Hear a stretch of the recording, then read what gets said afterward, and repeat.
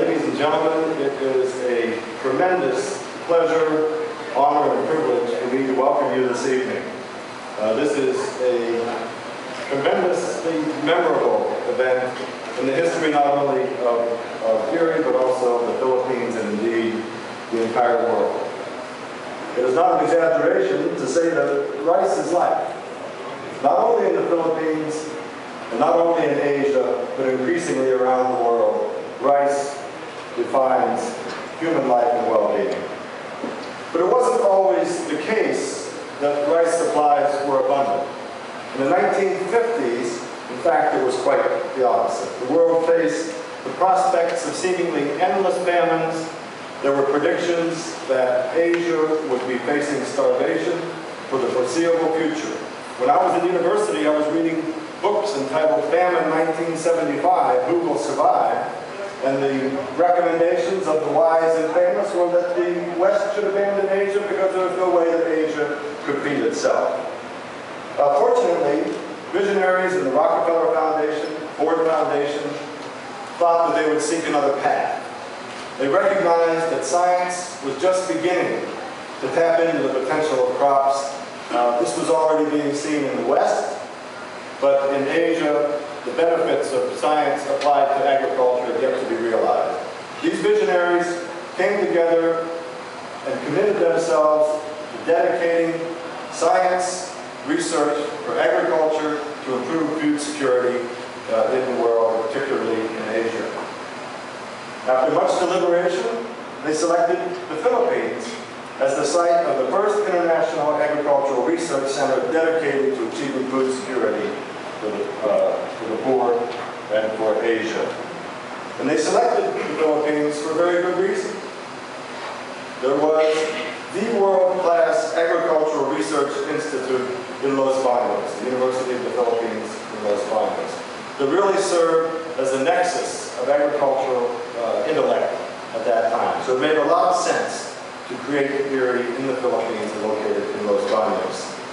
The agreement between the Philippine government and uh, IRRI that created the International Rice Research Institute was signed 50 years ago yesterday in New York City between the presidents of the Rockefeller Foundation, the Ford Foundation, and the uh, Secretary of Agriculture and Natural Resources of the government of the Philippines. The memorandum of agreement stated very clearly what IRRI was about. It stated simply that IRRI was established as an organization to do basic research on the rice plant and applied research on all phases of rice production, management, distribution, and utilization. A very clear target, a very clear mandate, something that we follow uh, very closely to this day. And I think we come together today to celebrate not just 50 years of work, but also to commend the vision of those very, very wise people who over 50 years ago saw fit to, to, to, to apply science to the challenges facing the world's poor. Madam President, in 1962, your father, President uh, Diosdado Macapagal, and your mother visited IRRI, along with John D. Rockefeller III, to inaugurate the institution's uh, infrastructure. Uh, we have since hosted yourself, of course, and other many other uh, state visitors and high officials and uh, officials and, and royalty.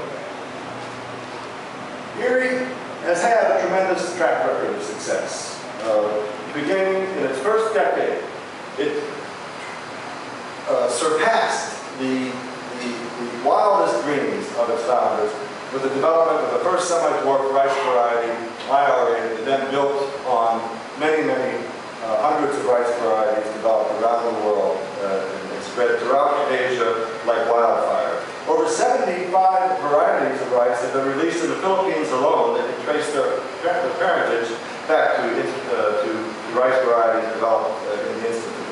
But IRRI isn't only about rice varieties. It's also about managing the crop, protecting the resource base, and possibly most importantly, developing the fine young minds to focus on the challenges of rice production, creating generation after generation of, of rice scientists.